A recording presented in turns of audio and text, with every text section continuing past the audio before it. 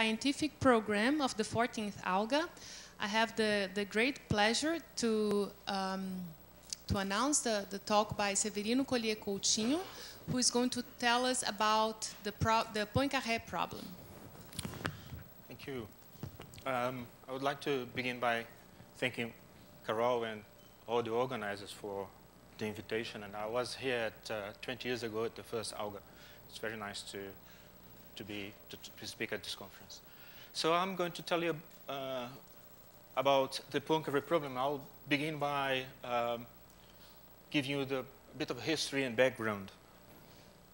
Uh, it begins with Gaston Darboux. In 1878, um, Darboux published a paper on, in which he gives a method for uh, constructing algebraic uh, first integrals. Uh, first integrals, not necessarily algebraic actually, uh, of differential equations using, algebraic solutions. So let me um, tell you what this means by um, a differential equation. He meant what we would say would call a, a polynomial one form, uh, adx plus bdy plus cdz. A, B, C are homogeneous of degree d plus 1. And moreover, the uh, omega is uh, what's called projective. It satisfies this condition xa plus yb plus zc equals to 0. This, in, in modern parlance, this defines a foliation of degree d in P2. Um, so from now on, every time I have uh, omega, capital omega written on the slide, I'll, I'll, I, by that I mean a, a homogeneous uh, and projective one form. Of, the degree d is the degree of the foliation. Okay? So remember that um, the degrees of A, B, and C are actually d plus 1. So um, let's uh, just let me just remind you of uh, what I mean by algebraic solution, uh, first integral, and uh, to say that uh, omega is algebraically integrable. So algebraic solution means that this uh, equation is satisfied. So omega wedge df is actually a multiple of uh, f, where f is the uh, polynomial, it's a homogeneous polynomial, reducible, not necessarily uh, irreducible, that defines the algebraic curve, um, which is the algebraic solution. Uh, by a first integral, I mean just any function that satisfies this condition, omega wedge d phi equals 0. If the function is uh, rational, then omega is said to be algebraically integrable. Okay? Uh, here's a theorem that Darboux proved. Suppose that omega has degree d, and that it has more than d plus 1 times d plus 2 divided by 2 algebraic solutions. Then in this case, um, there is a first integral. And moreover, the proof is effective. If you give me that many algebraic solutions, I can actually cook up uh, a first integral from that. Okay?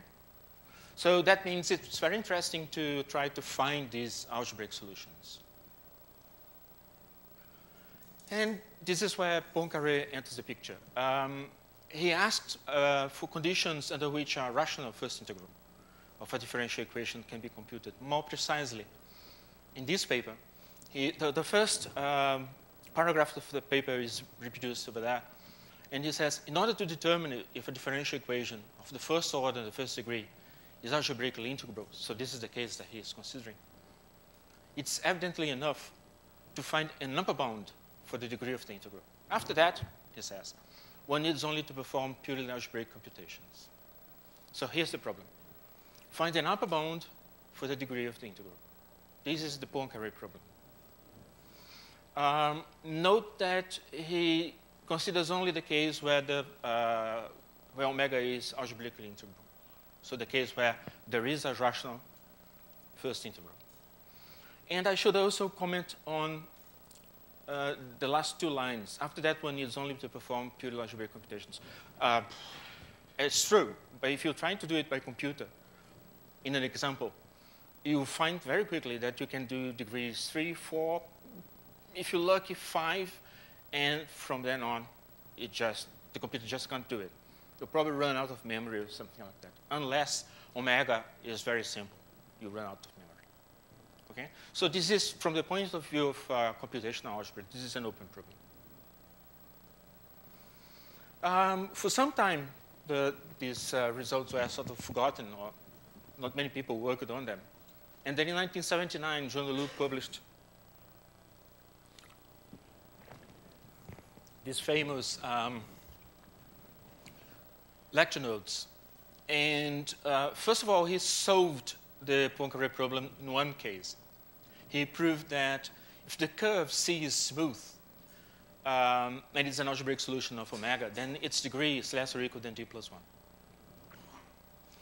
But there is also an, uh, another result in, uh, in uh, Jouanolou's um, lecture notes, which is sort of shifted the interest uh, uh, on the Poincare problem from the algebraically integrable case to the case where it's not algebraically integrable. Because he showed that um, omega has infinitely many algebraic solutions, if and only if there is a rational first integral. And of course, as a corollary, um, if there isn't a rational first integral, then there is an upper bound on the degree of the uh, algebraic solutions. So in this case, we know that there is an upper bound. Uh, in the algebraically integrable case, uh, things are more complicated because if you take a first integral and then you take uh, a polynomial of that first integral, you end up with another first integral. So you have to be more careful. But in the case where it's not algebraically integrable, there are only finitely many algebraic solutions, so there must be a bound. And the point is, find it. Um, from the algorithmic point of view, which is um, my point of view here, uh, the first really interesting result is a uh, result by Cerveau and uh, Alcides Lins Neto. Um, and they proved, well, they proved a result which is very similar to um, Jouanolou's, but uh, the uh, bound is slightly different, d plus 2, but the curve is nodal rather than um, smooth, as in the case of Jouanolou. And as we'll see from the uh, algorithmic point of view, this is far more interesting. Uh, before I move on, I have to remind you that uh, singularities of these uh, one forms, uh, the solutions of this uh, system of algebraic polynomial equations, A equals B equals C equals 0 in, in our case, P2. And I'm going to assume from now on that the, G, the GCD of ABC is 1, so there are only finitely many singularities. Okay? Even if I don't say that, I'm assuming uh, GCD equals to 1. Um, if you, let's look at a, an open set in P2, let's say P2 minus Z equals zero. Uh, then we can pull back uh, capital omega to this uh, open set. Let's call it little omega. This is ADX plus B dy. Then we can um, compute the Jacobian here, which is the Jacobian of the uh, dual uh, of the form. And if the determinant of the Jacobian at some point, some singular point, is non-zero, then we say that um, the, the foliation omega is non-degenerate. Okay? And the characteristic ratios of omega at a non-degenerate single, singularity are these uh, ratios here of the eigenvalues of the, um, the Jacobian at P. Uh, these uh, numbers will play a very important role uh, from now on. Okay, so this is the old uh, version of uh, Cerveau-Lins Neto, the same we had in the previous slide, where it says uh, nodal curve. However, if we know that um, the characteristic ratios of omega at some singularity p are not positive rational numbers, then we know that can prove that C is either smooth or nodal at P. Okay? So we can actually replace nodal here for this condition, and we get the same bound. And uh, the difference from the uh, algorithmic point of view is we replace the condition on C. We don't know C by a condition on omega, but we know omega. So we can actually check whether the characteristic ratios are in Q plus or not. If they aren't, then we have uh, a degree, a bound on the degree, which is what we want. Okay?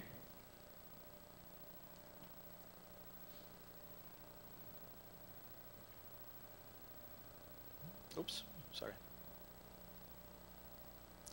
Uh, I should say that there is also uh, a result of Manuel Carnicer who extends this uh, result of uh, Cerveau-Lins Neto, and it's also algorithmic. It's an effective uh, result.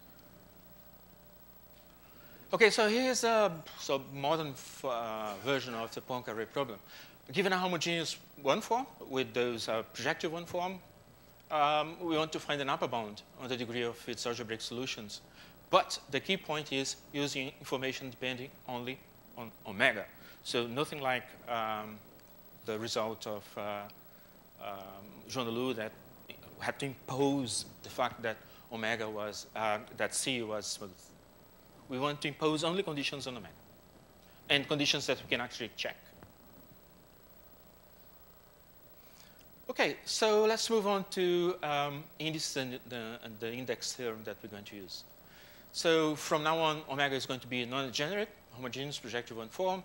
Uh, little omega will be uh, its restriction to u. That's the uh, p2 minus z equals 0, as we had before. I'm going to write it as adx plus bty.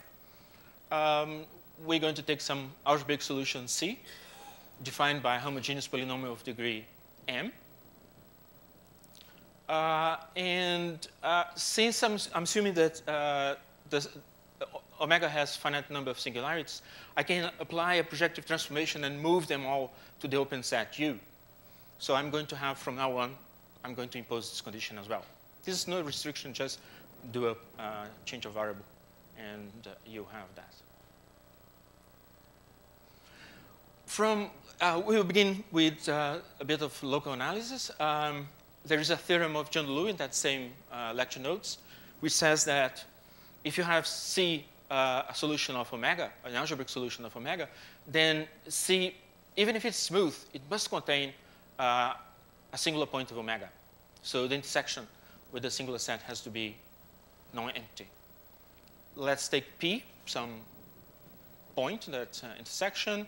Um, by hypothesis, everything is in U.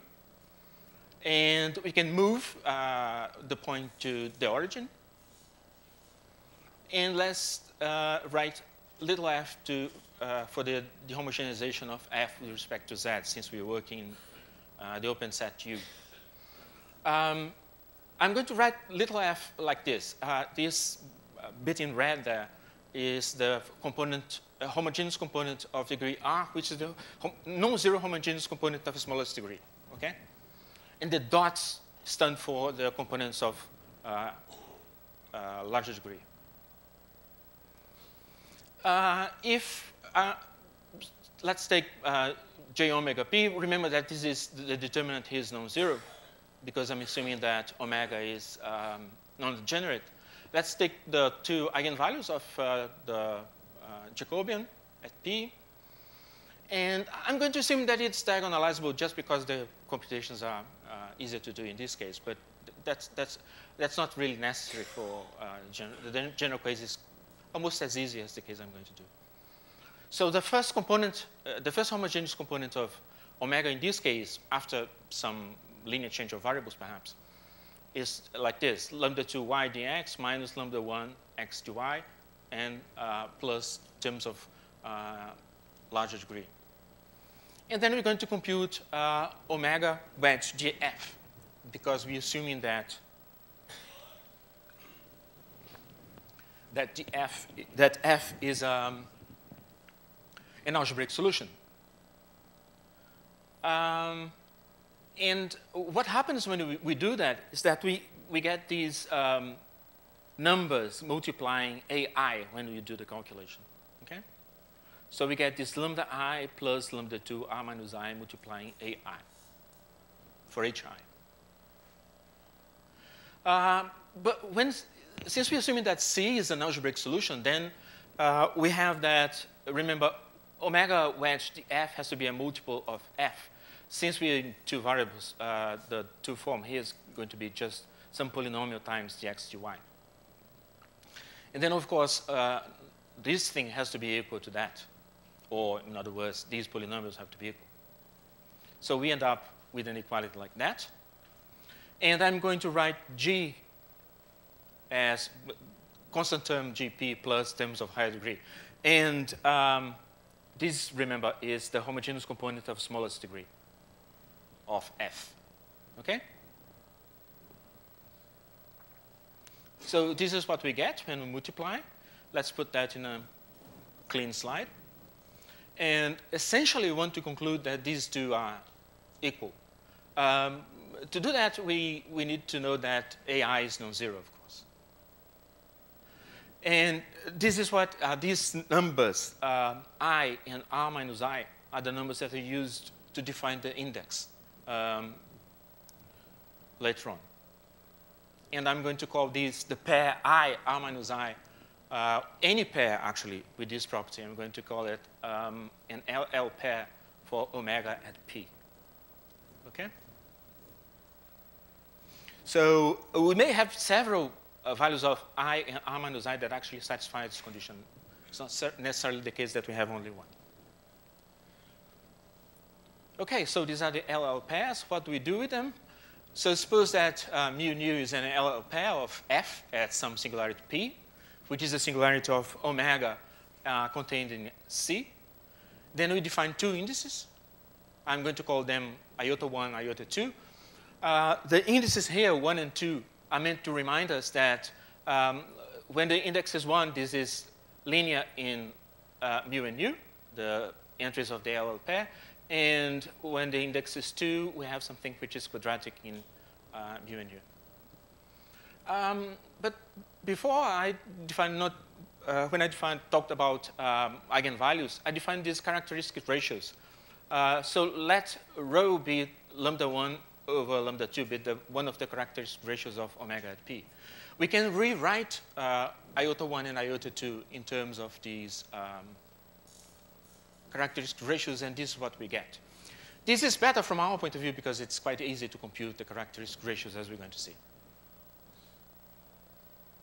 Uh, these indices, the way I've defined them here, they're defined by Moulin-Ollagnier in a paper of 2004. But of course, if you're familiar with holomorphic foliations, you identify this as being essentially the Camacho-Sad index. Uh, here's a special case, which is um, very important for the comp computations we're going to do. Uh, so assume that uh, the characteristic ratio of uh, uh, p, uh, of omega at p is not a positive rational number. So in this case, the L pairs have to be either 1, 0, 0, 1, or 1, 1. Um, if the if the, the, the, the, pair is 1, 0, then we have a smooth curve. This, this have a smooth curve as well. And uh, in this case, we have a normal crossing. We have a node at that point. Okay? And um, it's very easy now to compute both iota 2 and iota 1 in terms of rho in this case. So uh, the, number, uh, the numbers will actually depend on whether we have uh, the LL pair being 1, 0, 0, 1, or 1, 1. And we'll have to come back to this when we talk about the algorithm uh, later on. Okay, so here's the index uh, theorem as formulated by Moulin-Ollagnier. Omega is non-generate. C is an algebraic solution. M is the degree of C. Then we have these two um, sums. If you add the, the indices, the iota 1 indices over all the singularities that belong, of omega that belong to C, then you get d plus 2, d is the degree of omega, times the degree of the curve. And in the other case, for the iota 2 indices, you get m squared, so square the degree of the curve. Okay? So I'm going to use this to um, create a, an algorithm that can actually compute uh, m. So I'm going to use these two equations to compute m, essentially. Okay? Uh, and as I said before, about the iota 2 is the uh, Camacho-Sad index. This is actually the Camacho-Sad index theorem, essentially. Uh, before we um, look at the, how we apply the uh, index theorem, uh, I have to tell you about this result of Man and MacCallum. And um, suppose that omega, as before, has an algebraic solution. But this time, I'm assuming that uh, A, B, and C are rational, have rational coefficients. Why is that? I, I, want to have an exact uh, algorithm that I put in the computer and it returns uh, what is essentially a proof that the only possible degrees for the algebraic solutions are such and such. Okay? So if I, if I have to do exact computations, I'm limited to uh, things like rational numbers. If you, you can have something like uh, an algebraic extension of the rationals, but that's very slow you, in terms of computational time. So I'm going to play the game only in the case where the coefficients are rational numbers. And the key point here is that if you assume that ABC have uh, rational numbers, and that omega has some algebraic solution, then it has an algebraic solution defined over the rational numbers as well. Okay? This is very important for what we're going to do, as we'll see in a moment. So ABC defined over Q, and there is an algebraic solution, then there is one, not necessarily the one you picked, but there is one uh, defined over Q.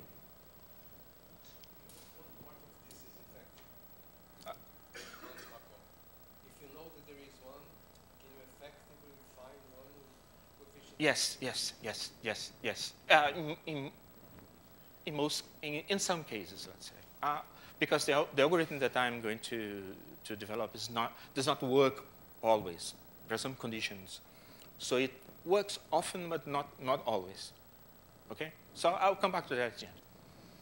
Okay, so let just remind you of the conventions. Omega is, has degree D, um, greater than 2, singularity is contained in U. Omega is the homogenization of capital omega, little omega.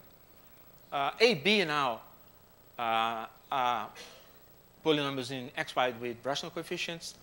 C is an algebraic solution of omega. Its intersection with U, which is the open set, is VF. And A, B in Q, remember, I can choose F in uh, Q, X, Y. Okay, so uh, since we know that the singularities are all contained in U, then I can compute the singularities from omega. It's just a, a set of uh, points that satisfy the A and B. And um, if I add the condition that um, A, B is in general position with respect to X, what's that? Uh, by that I mean that if you look at the um, X coordinates of the points in A, B, they are all distinct. There are no two uh, points in the singular set with the same x coordinate. And it's easy to, to get that by just doing a change of variables, if necessary. And if that's true, then by something called the shape lemma, or what's often called the shape lemma, we know that AB has this form, K, QX and Y minus RX, and Q and R are the um, polynomials in, uh, with rational coefficients in the variable X. Since I'm assuming that uh, uh, omega is non-degenerate, then Q is reduced and degree is d squared plus d plus 1. Okay? Um, but Qx is not necessarily um, irreducible. It, it, it's a, just a reduced polynomial. So we can uh, take a factorization in terms of irreducible polynomials. These polynomials are uh, irreducible over Qx. And I can decompose uh, AB the ideal AB as the intersection of these uh, prime ideals over, Q, over QXY. And I'm going to call the uh, singular sets that, the, the, the singular sets belong to these uh, that are satisfied by Q1 and Y minus Rx, I'm going to call them singularities of uh, the block Sj. So when I have Q1 Y minus Rx, I get the block Q S1 and, and so on.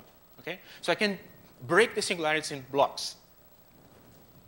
But remember, everything here is defined over Q. So let's take one block. Um, and let's take uh, an element of the Galois group of Qj over Q. And the point is, since everything is defined over Q, uh, if I take P, uh, a point which is x0, x0 is a solution of Qj, Rx0, I can have sigma acting on P. And the action is very simple. It's just sigma x0 and R sigma x0. Okay? Moreover, since I'm assuming that Qj is irreducible, the action is transitive. So I can use the Galois group to move the points around the block for one given block. Uh, let me tell you how we compute the characteristic ratios. So let's take P, some singularity in omega, rho is a characteristic ratio of uh, omega at p. And I'm going to look at these two uh, tau and delta, this is the trace of the Jacobian, and delta is the determinant of the Jacobian. But I'm not computing the Jacobian at singularity P. I'm looking at the Jacobian at just a, a matrix with uh, entries in uh, QXY. So both uh, tau and delta are, are polynomials in QXY. Okay? Uh, and if I take uh, the trace square divided by the determinant, now computing them at P, what I get is, well, lambda 1 plus lambda 2 divided by the product. Lambda 1 and lambda 2 are the eigenvalues. If I expand that and divide by lambda 1, lambda 2, I get that. But this is just a characteristic ratio. So I can replace it there, and that's what I get. Okay? So I know, um, I can compute the characteristic ratio if I know P and I have these two, which I can compute easily from the um, from omega. Uh, so just clearing the denominators, I have an expression like that. And I prefer to think of that as follows. Um, I'm going to look at a polynomial, let's call it chi, which is a polynomial in x, y, and t. t stands for the variable that um, captures the uh, characteristic ratio. If I plug x0, rx0 rho here, then you get 0. That's from uh, directly from we had before. I just replaced here p by xy and rho by t, and I get this polynomial. And since the dimension of the, this idea is 0, when I intersect the, the radical with qt, I get something which is non-zero. So I get a polynomial in t here. And the point is this polynomial actually captures all the characteristic ratios of omega at the block. They are all roots of this one polynomial in the variable t. Um, and I'm, remember that I'm, I'm, looking at the radical here. This is going to be important from, uh, for the theorem. So um, again, this is just definitions, just to remind you of what they are. I'm defining this number, uh, kappa, dj, kappa j, to be the degree of qj divided by the degree of phi j, this phi. And uh, j is just a set of characteristic ratios. And then I get the, this theorem. Um, suppose that uh, phi j is just, uh, has at most, uh, sorry, not suppose. Uh, omega is uh, that uh, form that we have there with all those uh, projective, non-generate, and so on. So in this case, phi j has at most two distinct reducible factors over q. And each one of its roots is the characteristic ratio of twice uh, kappa j, that number that uh, appeared in the previous slide, points of Sj. So we may have one characteristic ratio being the, the characteristic ratio of several different singularities in one block. But we, we know exactly how many. Uh, moreover, we have the following. Uh, either the set of uh, characteristic ratios is just one or only minus one. Uh, or uh, the Galois group acts of QJ acts transitively on uh, the set of characteristic ratios or we have two orbits, and then if we have two orbits, we have one for each one of these uh, two distinct irreducibles. So it, this is either irreducible, and then we have this, or it has two distinct irreducible factors, and then we have this. How do we use that? Um, suppose C is an algebraic solution, as before. Suppose C intersects the block, Sj. Uh, actually, if it intersects because we have the action of the Galois group, and C is defined by a polynomial with rational coefficients, uh, if there is intersection, then the, the, whole set Sj has to be contained in C. And I'm going to look at the sum of all the singularities of the, the, the indices over all the singularities in Sj. Um, this is just a definition of uh, the index. The mu p, mu p is uh, the LL pair. But actually, um, there is only one LL pair. That follows again from the fact that the action of the uh, Galois group is transitive. So you end up with just one LL pair for all the points of Sj. So I can replace the mu p, nu p there by j's. I can pull them out of the sums, I get that. Notice that there is a degree qj multiplying that because we had one of these for each uh, one of the terms in the uh, summations. And I'm going to add one hypothesis just to make things a little simpler. Suppose that we're considering the case where phi j is irreducible and the degree is greater than 2. So in this case, again, using the, the action of the Galois group, we see that uh, all the, the, the, indices are equal. Uh, actually, mu j is equal to nu j. So I can replace them all by mu j, can pull them out, I get that. And this is almost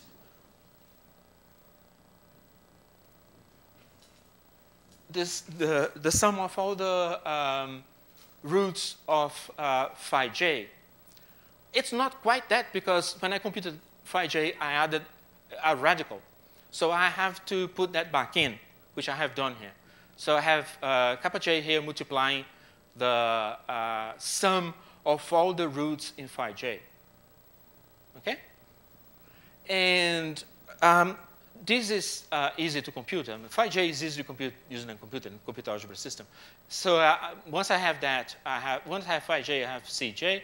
This is a number which just the ratio of two uh, degrees of two polynomials that I know. So I know this number. So if I replace that up there, I get this expression for uh, uh, the iota 1 uh, index at Sj. Okay? But remember that I'm assuming that phi j is irreducible and um, for this uh, equation to hold. So in this case, uh, the index is actually a number, uh, a rational number actually. Okay? Because remember that we know that, well, it will come up in the next slide, but in this case we know that mu j has to be either 1 or uh, actually, in this case, has to be 1. Uh, this is a case where all the uh, singularities in the, in the block will, will, be, will have to be nodes.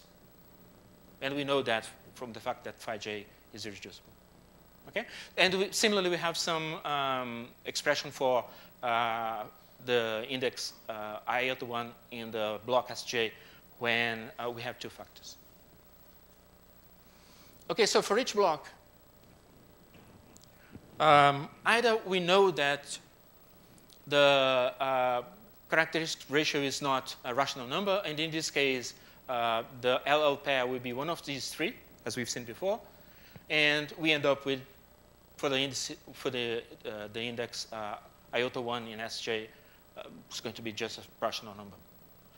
The other case is more interesting and more complicated. If uh, rho p is um, a rational number, well, then in this case, uh, it has to be the same for all the, the, uh, the, singularities in the block, again, using the action of the Galois group. And we end up with an expression like this. But this time, I don't know what uh, mu j and nu j are. So this is actually an expression in two variables, mu j and nu j. And then by the index theorem, we know that when we add up these, which is adding up the indices for all the blocks where the, uh, for all the blocks that actually intersect uh, the, the curve C, the algebraic solution, uh, we end up using the index theorem that is m times d plus 2. Okay, so this gives a Diophantine equation on m and the mu j's, nu j's.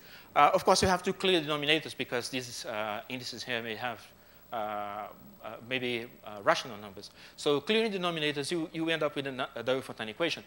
Um, on the mu's and, and corresponding to their character, the, oops, sorry, corresponding to the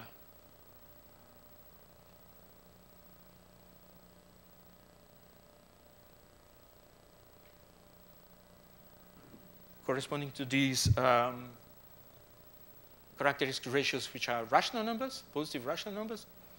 Uh, they will give two variables for each one of these. And, uh, and adding up these numbers. Um, so I have uh, the Diophantine equations for um, on these uh, sets of variables, m and depending on how many uh, rational characters, positive rational characters ratios we have, we have they have several of these mu j's, nu j's. Uh, if I do the same for um, the iota 2 index, I'm going to get um, a similar result. And uh, the first case, I have a linear Diophantine equation. The second case, I have a quadratic Diophantine equation. Uh, things are a little more complicated than just a pair of equations because um, remember that, uh, I mean, we, in, in, some cases we don't know whether uh, the curve is going to be passing through that point, that singularity is going to be smooth or a node. So we have to consider the case that it's smooth and the branches like this, or smooth and the branches like that, or uh, actually the singularity is a, is a node.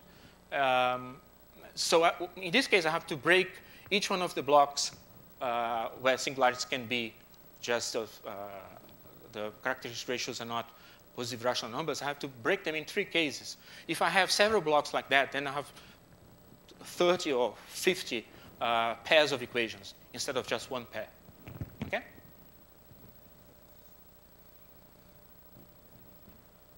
Uh, and when all these equations have finitely many solutions, we get them bound. It's as simple as that. And the, the thing is, is, it happens quite often. Okay? So let me give you, let me go through uh, quickly a few examples. First of all, had to be the famous de foliation. I'm, i did the case of degree four. Actually, I, I, did degrees up to six, I think. And it's very fast for the de foliation. And in this case, we end up with Diophantine equations that have only two possible solutions, m equals 0, m equals 6. m equals 0, of course, doesn't give anything. m equals 6, well, I can actually read more information from the, the algorithm. And I know that in the case m equals 6, uh, I have to have nodes at all the singularities. But that's easy to show that that's not possible. So we don't have solutions in this case, as expected. Uh, uh, suppose now that, well, the, uh, I have also, uh, uh, these foliations are concrete examples that actually have been done by computer. I've invented um, an example and then tested it, okay? Actually, I tested several examples for, for each one of these cases. So um, there is also a case of one, the critical foliation, uh, singularity, which is a case where the um, the character ratio is going to be 1. And this is a case which is sort of hard to deal with uh, the results like the one we had before by Cerveau and uh, Alcides. And in this case, we end up with um, these, uh, since I have one singularity, I have only one pair of, uh, uh of LL uh, numbers because all the other ones I can actually replace by numbers. And of course, this doesn't give anything um, and I get these three. Uh, this one also doesn't give anything because remember, uh, mu and u have to be non-negative uh, integers, and so I can't have that. So I have only m equals 3, but mu plus nu is the degree of the um, homogeneous component of smallest degree of the polynomial. So it has degree 3, and the homogeneous component of smallest degree is 3. So it's actually a homogeneous polynomial. Okay? And uh, this case, I have a polynomial uh, whose homogeneous component is 2, and then uh, goes up to 4. So I can have homogeneous components of degree 2, 3, and 4 in this case. Okay? So I actually get more information from the algorithm than just uh, a bound. The case of two uh, singularities, I'll run in the computer very quickly, so I'll skip this. And the case of three singularities, well, in this case, um, uh, the, the, the, matrix that you get from the quadratic forms uh, have negative eigenvalues. So I can't bound the, the numbers, the mu's and u's, and m in this case. So using this kind of technique. And in fact, I sort of explored further to see what I could prove about this example, and it turned out that it has a rational first integral. So, uh, and that's something I, I don't know if, I don't know any example uh, with uh, that I can bound but doesn't have a, a rational first integral. So I, I don't believe that uh, that's an if and only if statement, but maybe uh, there is something going on there that I don't understand yet. Let me show you the, um, I will run the, the, the algorithm in uh, the computer algebra system axiom, which is the one I've uh, chosen to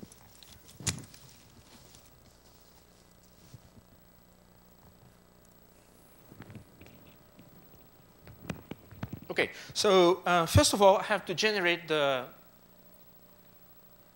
the form. This is the form. This is little omega in the notation we had before.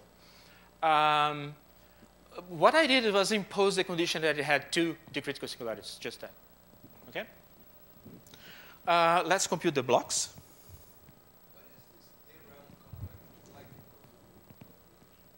It can do Koszul calculations. Yes, that's that. Uh, that's uh, you can do calculations using forms in these theorem um,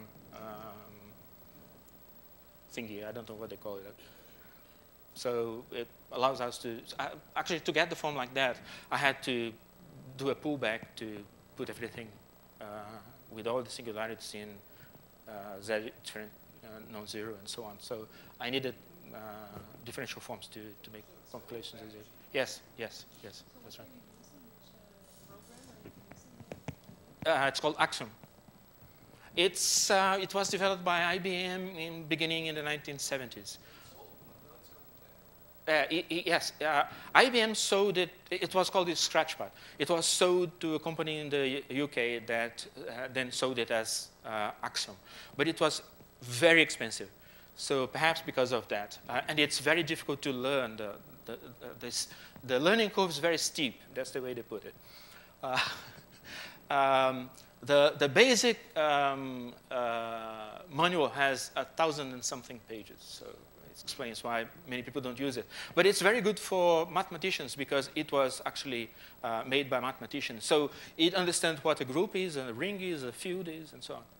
So you have these uh, types pre-set up in there, so you can actually use them and the system understands it. Okay? So, and this is one of the types, this de Rham thing, which is the one that uh, allows how to do calculations with forms. Okay? So I got the form, which was I actually calculated there. It wasn't uh, pre-written there. I just wrote the, um, the program to, to get the form. And then I have to compute the blocks using Gröbner basis. Uh, here I have the blocks. This is the largest block, and it's going, it's going to be the, the last one in the computation of the indices there because it takes quite a long time to do. Um, and I have uh, four more blocks here. These two correspond to the, um, to the critical singularity. Okay? So let's compute the indices now. Indices, these, uh, these are going to be indices for each one of the blocks. Okay, so we've gone through um, the first four blocks, or the last four rather. And uh, this is the, the computations being done here for the, for the last, for the first block.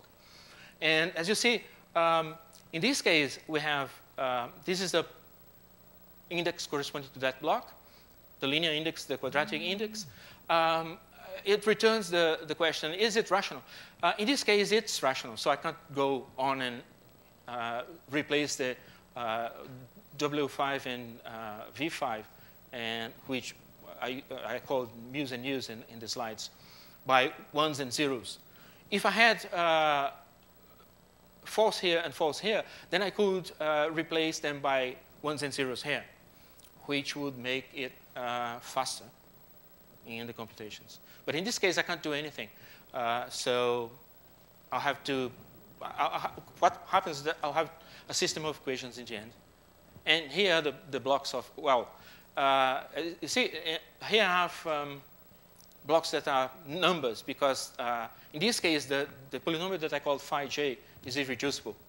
In this case, uh, it's, it's actually reducible. I have two factors, um, but no rational numbers as uh, characteristic ratios. So I can replace them by 1, 0, uh, 0, 1, and 1, 1.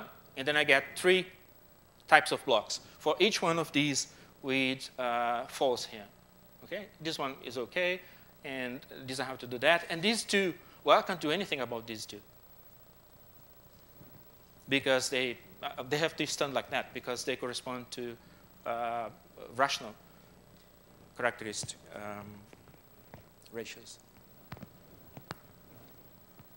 Okay, so these are the pairs of equations. You, as you see, I, I added, I've added the number of nodes here so I can uh, I know how many nodes there are.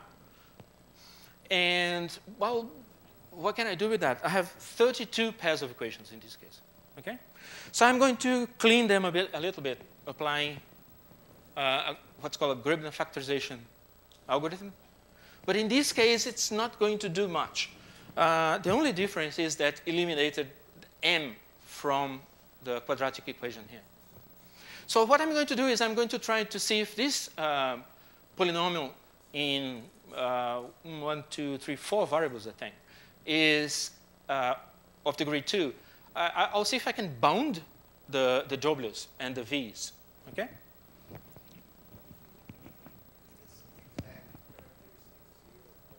Yes, it's this exact characteristic of zero population. So a cube. That's the way it does it. Um, so after I um,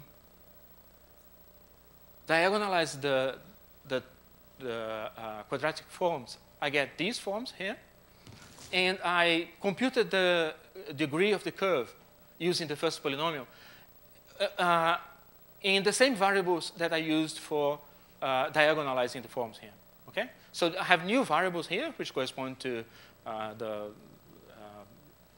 in the, the axis for the diagonalized form, and I computed the curve degree m in terms of these same, the same variables. And I get these uh, systems. There are 32 systems there, one for each one that I had before. Uh, now I have to compute the, the bounds. So let's see what happens. So I'm trying to compute now bounds for uh, y3 and y4.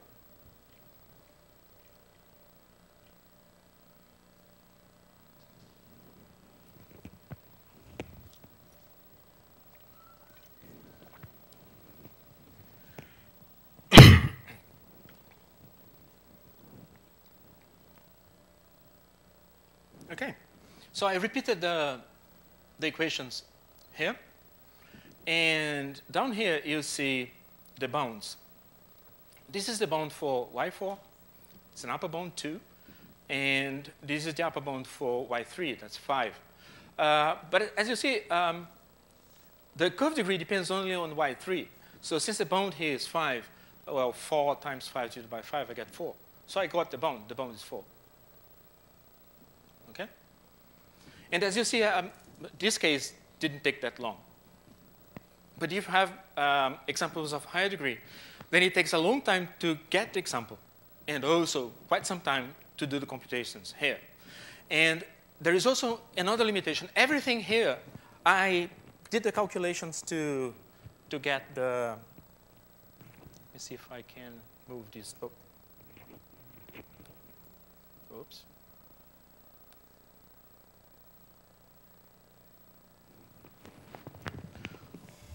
This is part of the output in the calculation of the um, bounds. I'm doing it, as you can see, exactly. I'm not using po uh, floating points. Because if I use floating point, I, am going to lose control. It's very difficult to uh, control a floating point in these diagonalization algorithms. Um, but that means that I'm limited to the case that the system can actually handle, which are not that many. So if you get something really complicated, I, the, the, expressions here will be so complicated that the system just can't handle them. Okay? Uh, in particular, I need uh, that the degree of the uh, characteristic polynomial of the uh, Gram matrix corresponding to the quadratic form has smaller, smaller degree, so I can actually express it in terms of radicals and do the calculations.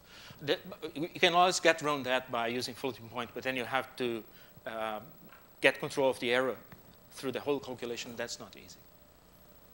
Okay? Okay, so I'll stop now. Thank you.